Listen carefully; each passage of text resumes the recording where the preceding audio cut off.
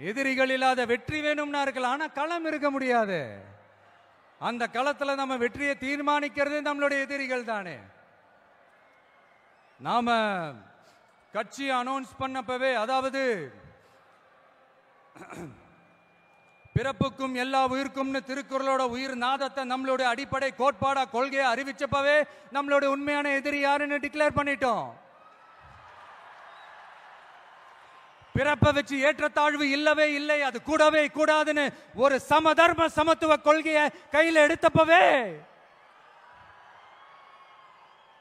இங்க கொஞ்சம் கதறல் சத்தம் கேட்க ஆரம்பிச்சுது.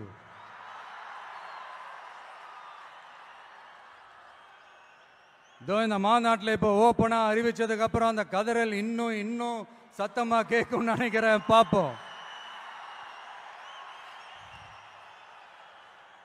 ஸோ நம்மளோட இந்த இயல்பான அடிப்படையான கோட்பாட்டுக்கு எதிராக இருக்கிற மாதிரி மக்களை மதம் சாதி இனம் மொழி பாலினம் ஏழை பணக்காரன்னு சூழ்ச்சி செய்து பிரித்து ஆளும் பிளவுவாத அரசியல் சித்தாந்தம் மட்டும்தான் நமக்கு எதிரியா? அப்படின்னா நமக்கு ஒரே ஒரு எதிரி தானா? இல்லையே. நமக்கு இன்னொரு கோட்பாடு இருக்கே. ஊழல் மலிந்த அரசியல் கலாச்சாரத்தை எதிர்க்கிறது தானே அது. அடாடாடாடாடா இந்த ஊழல் இருக்கே. அது அப்படியே எல்லார் வாழ்க்கையிலையும் பழகி போய் அப்படியே வாழ்ந்துட்டு இருக்கிறோம். இது ஒரு வைரஸ் மாதிரி அப்படியே பரவி கிடக்கு. இது எந்த அளவுக்கு ஹண்ட்ரட் பர்சன்ட் ஒழிக்க முடியுமான்னு எனக்கு தெரியல பட் வேற வழி இல்லை. அதை ஒழிச்சு தான் ஆகணும். அது வேற கதை. அதுக்கு நம்ம அப்புறமா வருவோம். அதாவது என்ன சொல்ல வந்தேன்னா இந்த பிளவுவாத சக்திகள் கூட நம்ம ஈஸியாக யாருன்னு கண்டுபிடிச்சிடலாம். ஏன்னா அது வந்து ஒரு மதம் பிடிச்ச யானை மாதிரி. அது பண்ணுற அராஜகத்திலே ஆபியஸா நம்ம கண்ணுக்கு தெரிஞ்சிரும். அதுவும் இல்லாமல் அதுவே அதை காட்டியும் கொடுத்துரும். ஆனால் இந்த கரப்ஷன் இருக்கே. அது எங்கே ஒளிஞ்சிருக்கு? எப்படி ஒளிஞ்சிருக்கு? எந்த ஃபார்மில் ஒளிஞ்சிருக்கு? கண்டுபிடிக்கவே முடியாது. கருத்தியல் பேசி கொள்கை நாடகம் போடும். கலாச்சார பாதுகாப்பு வேஷமும் போடும். அதுக்கு முகமே இருக்காது. முகமுடி தான் இருக்கும். முகமுடி தான் முகமே. இப்படி முகமுடி போட்ட கரப்ஷன் கபடதாரிகள் தான் இப்ப நம்ம கூடவே இருந்துகிட்டு இப்போ இங்க நம்மள ஆண்டுகிட்டு இருக்காங்க. எஸ் ஐ ரிப்பீட் நம்மளுடைய ஒரு எதிரி பிளவுவாத சக்திகள். நம்மளுடைய இன்னொரு எதிரி இந்த கரப்ஷன் கபடதாரிகள். நம்ம மக்களுக்கு தெளிவா தெரியும் யார் இங்க வரணும் யார் இங்க வரவே கூடாதுன்னு. ஏன்னா இது மதச்சார்பின்மை பேசுற தமிழ்நாட்டு மண். பெரியார் அண்ணா பெருந்தலைவர் காமராஜர் வேலு நாச்சியார் அஞ்சலை அம்மா எல்லாம் பிறந்த மண். இங்க இந்து முஸ்லிம் கிறிஸ்தவர்கள் எல்லாம் அவங்கவுங்க வழிபாட்டு தலங்களையும் வாழ்க்கை முறையிலையும் மட்டும்தான் இருக்கும். ஆனா ஒட்டுமொத்தமா தமிழ்நாடுன்னு வந்துட்டா. ஒற்றுமையை காட்டணும்னு வந்துட்டா. ரொம்ப கஷ்டம் ப்ரோ ரொம்ப ரொம்ப கஷ்டம் ப்ரோ அதே மாதிரி இப்போ ரீசெண்டாக கொஞ்ச நாளைக்கு முன்னாடி பார்த்துருப்பீங்க. நம்ம தமிழ்நாட்டில் என்ன நடந்துச்சுன்னு. இங்க சாதி இருக்கும் ஆனா சைலண்டா மட்டும்தான் இருக்கும். சமூக நீதிக்கான அளவுகோலா மட்டுமே தான் அது- இருக்கும். அதை வச்சு நம்ம மண்ணை வேற மாதிரி மாத்தணும்னு யார் என்ன ட்ரை பண்ணாலும் அது நம்ம மக்களே அனுமதிக்க மாட்டாங்க. ஏன்னா இந்த மண்ணில் அது பொலிட்டிக்கல் அப்ரூவான ஒரு தியரி அண்ட் கான்செப்ட் சரிப்பா உன்னோட எதிரிகள் யாருன்னு சொல்லிட்டா மட்டும் போதுமா? அதுதான் உன்னோட அரசியலான்னு கேட்டா இல்லை. மகத்தான அரசியல்னா அது மக்களுக்கான அரசியல் தான். மக்களோட மக்களா அவங்கள ஒருத்தனா அவங்களுக்கான ஒருத்தனா எப்பவும் மாறவே மாறாத அந்த குணத்தோட மனசோட களத்துல நிக்கிறது தான் எங்களோட நிரந்தர அரசியல் பாதை. எக்ஸாம் எழுதின உடனே ரிசல்ட் வர்ற மாதிரி நல்ல ரிசல்ட் கொடுக்கிற திட்டங்களை தீட்டணும். அது முறையை அமல்படுத்தணும். அது போய் மக்கள் கிட்ட போய் சேரணும். போய் சேர்ந்துச்சான்னு பார்த்துக்கிட்டே இருக்கணும்.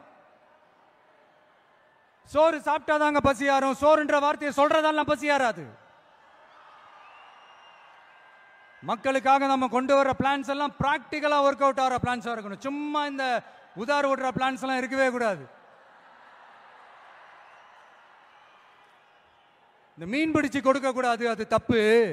மீன் பிடிக்க கத்து கொடுக்கணும் அதுதான் சரி அப்படி இப்படின்ட்டு சில பேர் சொல்லிக்கிட்டு சுத்துவாங்க. ஆனா நாங்களாம் அப்படி இல்லைங்க. கான்செப்டே வேற பக்கா பிராக்டிக்கல் தாங்க.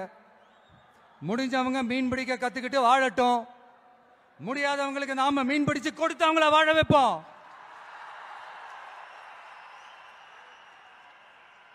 எங்களை பொறுத்த வரைக்கும் மக்களுக்கு நல்லதுனா எதுவுமே தப்பு இல்லை என்ஸ் ஜஸ்டிஃபை த மீன்ஸ் எங்கள் இலக்குகளே எங்கள் வழிகளை தீர்மானிக்கின்றன.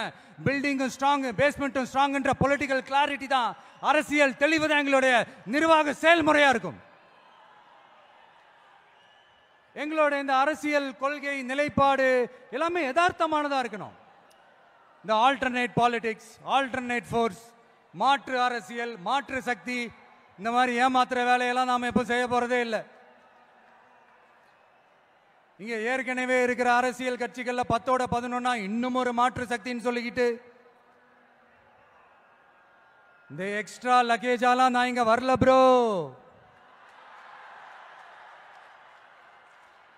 நம்ம நாட்டுக்கு கேடு செய்யற இன்னும் எக்ஸ்ட்ரா எக்ஸ்ட்ரா வேலையெல்லாம் ஈஸியா செஞ்சுக்கிட்டு மக்கள் மதியில் தங்களை மாபெரும் சக்திகளாக நினைச்சுக்கிட்டு இருக்கிற மிகப்பெரிய ஏமாற்று சக்திகளோட பிடியிலிருந்து தமிழ்நாட்டை முழுமையாக மாத்திர ஒரு முதன்மை சக்தியா இருந்து உங்களுடைய மகனா அண்ணனா தம்பியா தோழனா உங்களில் ஒருத்தனா இருந்து நான் உழைக்கணும். இதான் என்னுடைய டார்கெட்டும்.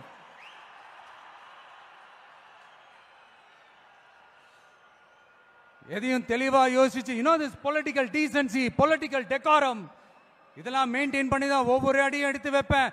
ஒரு முடிவோட தான் வந்திருக்கேன் இனிமே நோ லுக்கிங் பேக்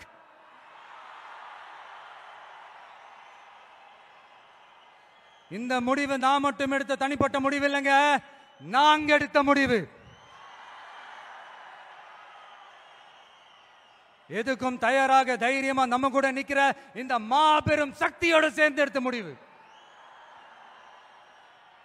அதனால இப்பவும் சொல்றோம் இந்த கூட்டம் குடும்பமா சேர்ந்தோ கூட்டணி சேர்ந்தோ ஏதோ ஏமாத்த வந்த கூட்டம்லாம் இல்ல கொள்ளையடிக்க வந்த கூட்டம்லாம் இல்ல.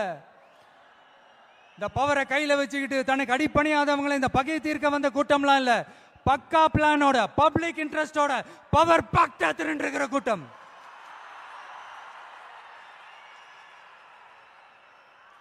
இது ஏதோ சோஷியல் மீடியாவில் கம்பு சுத்தம் வந்த கூட்டம்லாம் நினைச்சிடாதீங்க. சொசைட்டிக்காக வாழைந்தி நிற்க போற கூட்டம் நம்ம மண்ணை வாழ வைக்கிறதுக்காக அரசியல் வாழைந்தி நிற்க போற கூட்டம். Yes this is a mass gathering not for cash but for a good cause